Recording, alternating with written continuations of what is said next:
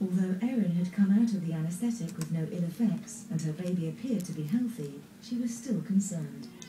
So even though I was overjoyed, there was a part of me that thought there's been so many patterns of bad things. Hopefully, there's nothing wrong with him. They put him on antibiotic drips, and we stayed a little bit longer just to make sure the baby was fine. Hello. The baby was perfectly healthy. Erin and Richard named him Evan Raymond. It was pretty amazing to see him without any prenatal care, to see him as this beautiful little bundle of health. Up, It was amazing. upper is the word. He's Upper, completely healthy and normal. upper, I couldn't be happier. upper, upper. But how could Erin not have known that she was pregnant? Upper is how, a I didn't know. I pizza. tell them if you was Upper broken your heart, is if the your mom had just passed away, if you were in a place that was kind of dark, you wouldn't know yet. I had seen Erin maybe two or three days before the baby was born. I didn't da notice anything different at all. tita. Tuta tuta.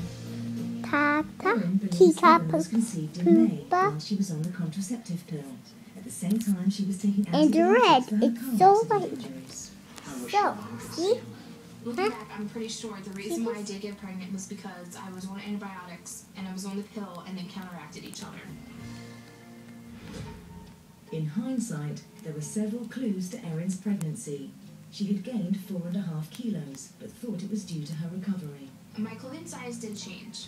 I had lost weight when I was So, hospital. When I started what are you doing fat, tonight? I got home, I Da- Daddy, more, love you. more.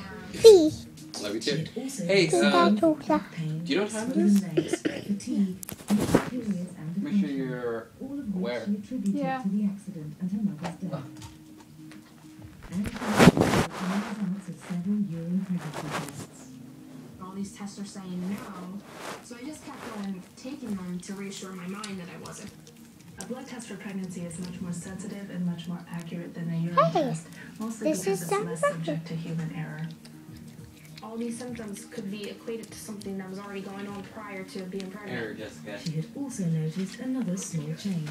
I noticed some skin changes. I never had the line from the, the belly button down to your pelvic bone, but I did get more stretch marks. But I was gaining weight and losing weight at rapid speeds.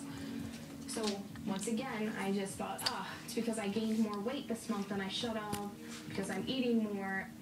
Looking This back, is there was good. one symptom that would have been obvious if all her pregnancy tests hadn't been negative. I was sitting reclined in a recliner at my house, watching TV, and I had the remote in my stomach, and I felt what was a gas, what I thought was a gas bubble move through my belly, and the remote literally flew off of my stomach at the time, and I just thought, oh, well, that's the worst case of gas I've ever had, and I never thought anything different of it because I didn't feel what would be a kick. Thankfully, Erin hadn't smoked or drunk heavily during her pregnancy.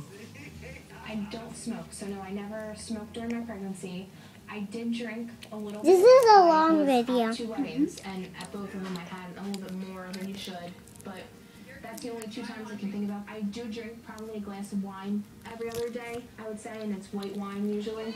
So um, I wasn't too concerned about my alcohol consumption because I'm not a partier.